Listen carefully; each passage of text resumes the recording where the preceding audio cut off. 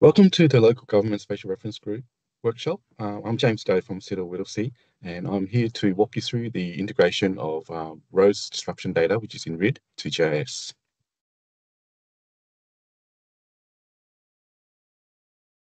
So this workshop demonstrates the practical use of Python um, to access and obtain um, spatial data from the APIs and then store that information into a geodatabase, shapefile, or ArcGIS Online. So I do have sample scripts set for you to run and you don't need any coding. You should have been provided a zip file and unzip that file and you'll get these folder structures.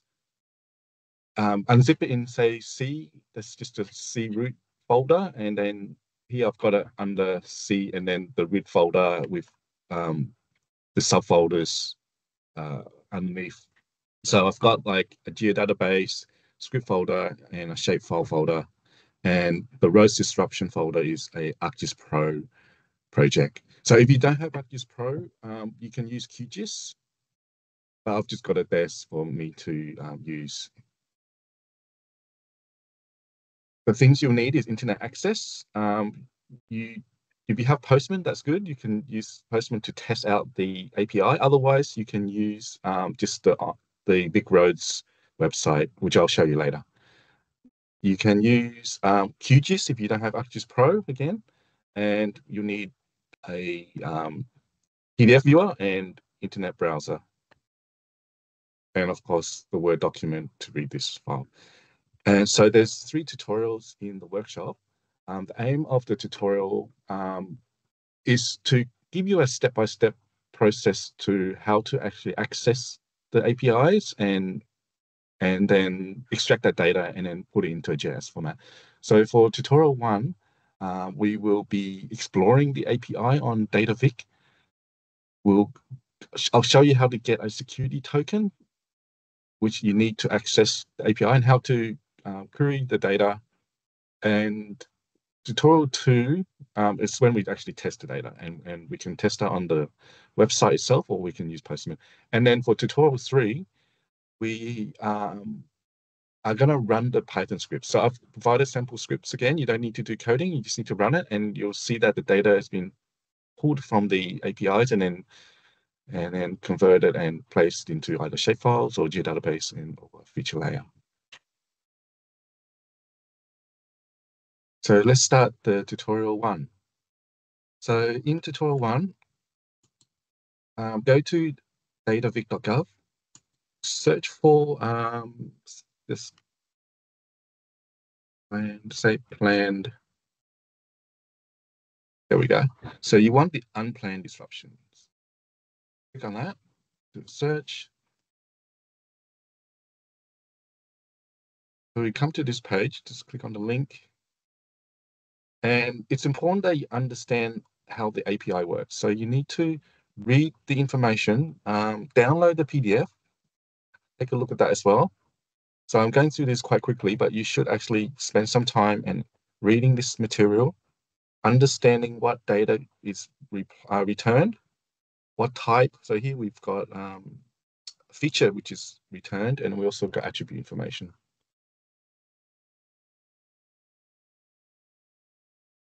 So going back to this, um, if we click on here, we get to the VicRoads details, API details page. So here, um, notice that we're on version two. Version one for unplanned disruption is going to be decommissioned. And we, so we have to use version two. And this is the URL to call the um, API, the requests. And we've got parameters here that you can use. So you need to really understand how this works. And as I said again, read this material, understand it. Now, to get the token, you have to click here and then you need to sign up, get an account here.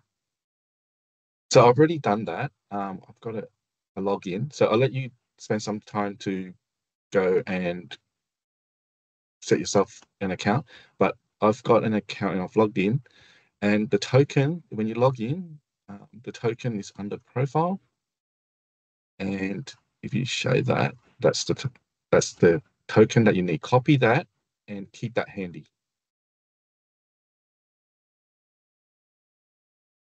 So that ends tutorial one. The next tutorial is we're going to test the API. So you've got the token and we need to make sure that that works. So if we go back to that page, this one, go back to, sorry for clicking through this, go back to resource. So this is the VicRoads API details page. And this little green button, we can try it out. So you click here. Now go back to your um, token. Just going to copy this out. In the documentation, I've put the token in, and this is actually um, our own Whittlesea token, but you will need to use your own token. Um, I'm going to be resetting that token after the workshop you can, I guess you can try it out with our token at the moment. But if you do have your own token, go ahead and, and use it. So I'm going to paste my token in here.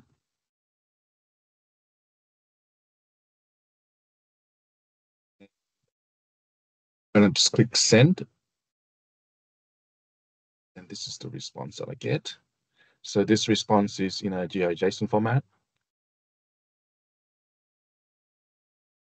but it looks like it's working. Now I like to use Postman. Postman's more professional. So um, I've got my Postman page here and I'm going to go and copy this URL. I'm going to leave out the page and the limit parameters at the moment. Copy this, paste it in here. And then we need to also have that token. So I'm going to just copy it from there.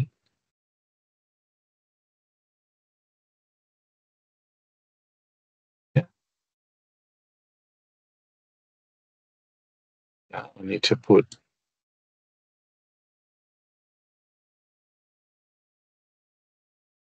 I've got to put under the header. So that's parameters. Headers is under here.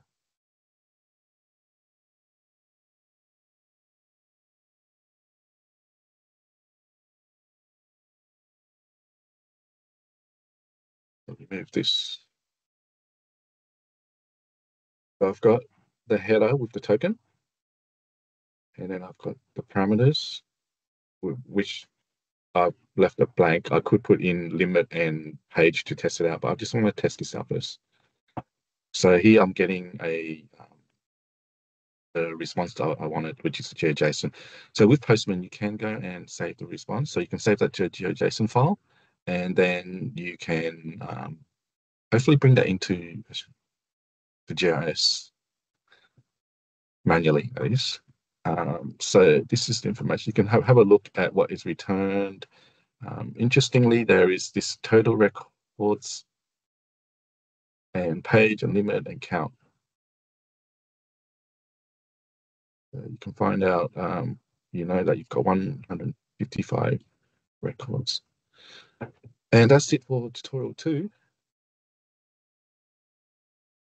Uh, the next tutorial, we're going to be running script. Okay, she's up here.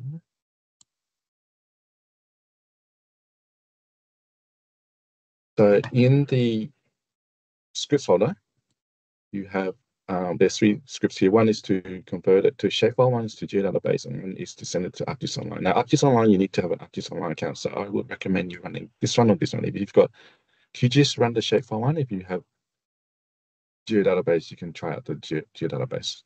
Now, Firstly, to run it, you have to, um, let's open up the editor. Make sure that these parameters are correct. So you might have unzipped it in an E drive or, or D drive, but make sure this is where your folder is for your shapefile, and then put in your key here. All you have to do is run this now. And fingers crossed everything is okay. And so that was pretty quick. So that ran pretty quick. And you will find that in the shapefile folder, you will have the shapefile. So it's split it up into lines and polygons. And if I go into the um, ArcGIS Pro to view the shapefiles. Just new Mac.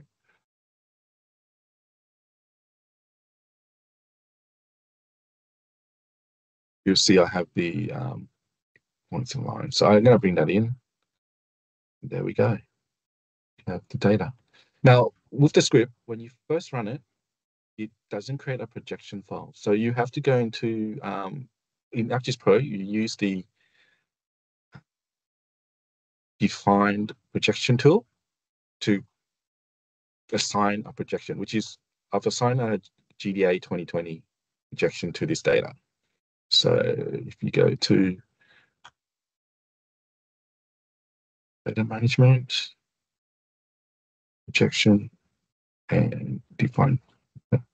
So if, if, if you run this um, script for the first time and um, it, it could end up not sitting over this base map. It could be somewhere and it's all blank. So you have to assign this uh, projection file.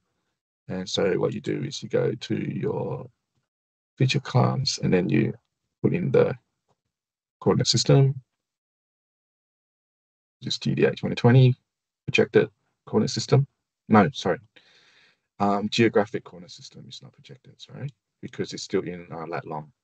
And then you run this and it will assign the projection to the shapefile.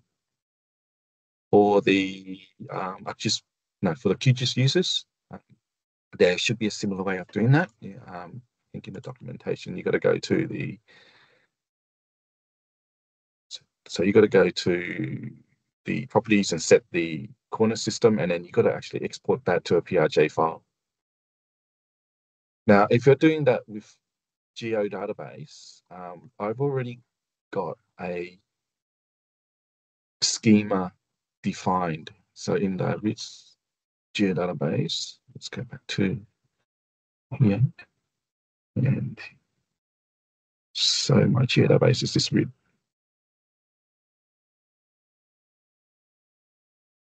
one, this here. So before um, you actually uh, if, if you're starting new and you're, you're, you're creating the feature class, you, you need to know, create all these fields that you want first, and then you can run the script. But here I've already done it for you. I've already created the feature class and I know what columns I need. But if you were doing it from a blank um, feature class, you have to create a new feature class and then um, manually add in all the fields and the fields that you want to be defined in these properties. But just is mine already defined. The next step um, that I've got in the tutorial is something you probably won't be able to do here in the in the workshop because you need to have an ArcGIS Online account. So I do have um, an ArcGIS Online account. And what I'm demonstrating here is that I've got feature layers and so the unplanned feature layer is here. And I could set up the script to run in a scheduler. So every maybe two hours it can run and it will update this data. And what I have here is I've got planned and unplanned um, disruptions and I've got um, hard rubbish collection layer. So we have trucks that go out and pick up hard rubbish. So they can actually use this map to determine which locations have roadworks and then they can avoid those areas.